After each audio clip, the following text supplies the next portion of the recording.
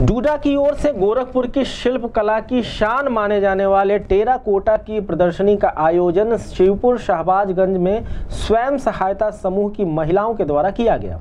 इस प्रदर्शनी में महिलाओं ने बढ़ चढ़कर हिस्सेदारी ली और टेरा कोटा के खिलौनों को लोगों के सामने अपनी अनोखी जादुई कारीगरी के माध्यम से रखा। अपने दर्शकों को हम बताते चले कि प्रदेश के मुख्यमंत्री योगी आदित्यनाथ ने भी सभी जिलों में एक जिला, एक उत्पाद की योजना शुरू करने जा रहे हैं, जिसके अंतर्गत किसी एक उत्पाद को उस ज़िले की पहचान बनाकर उसे प्रोत्साहित करने के लिए सरकारी सहायता दी जाएगी और वो उत्पाद उस जिला विशेष की पहचान बनेगा। इसी संदर्भ में टेराकोटा गोरखपुर की पहचान बनने के लिए तैयार है। लेकिन कुछ अभी दिक्कतें आ रही हैं जिस पर हमारे संवाददाता ने टेराकोटा से खिलौने बनाने वाले महिलाओं से बात की। इस संदर्भ में महिलाओं ने कहा ज़रूरत है हम कर रहे थे। कहूँ सब पे जागरूकता चिपकाने के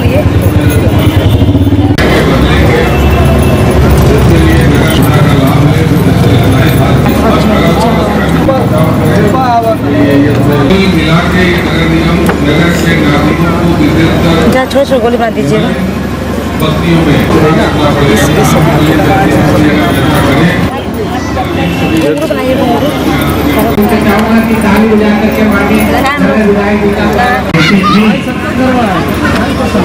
इन्होंने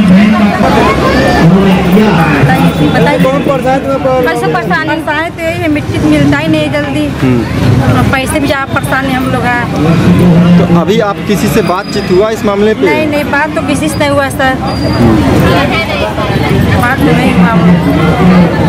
हाँ ये लोग ऐसा हम लोग ये हम लोग अपने हाथ से ही बनाते हैं। मट्टी हम लोग खरीद के लाते लेके आते हैं। हम लोग सोच रहे हैं कि बिज़नेस करने के लिए हम लोग को कुछ पैसा सरकार की तरफ़ से मिले कि हम लोग ये काम थोड़ा आगे बढ़ाएँ क्योंकि हम लोग के पास इतना पैसा है नहीं कि हम लोग अपना बिज़नेस का आगे बढ़ा सकें तो इसी इसीलिए हम लोग सोचते हैं कि सरकार की तरफ़ से हम लोग को कोई मदद मिले कि हम लोग ये काम आगे बढ़ा सकें ऊपर से मट्टी भी हम लोग को मिलती नहीं है मट्टी के लिए बहुत हम लोग का शासक है रुकावट हो गया है नहीं सर अभी तो कोई व्यवस्था हुई नहीं है इसीलिए हम लोग के पास बहुत परेशान ये तो मट्टी मिलती तो मट्टी भी नहीं मिल रही है। मट्टी भी रुकावट हो गई है कहीं से मिलती नहीं है। यहाँ पे महापौर महोदय आए हैं नगर आयुक्त महोदय आए हैं। अब उनसे बातचीत हुई इस मामले पे? नहीं सर अभी तो बात हुई नहीं है इनसे। यही हम लोग की मट्टी मिल जाती तो हम लोग का काम कुछ सहायता होता।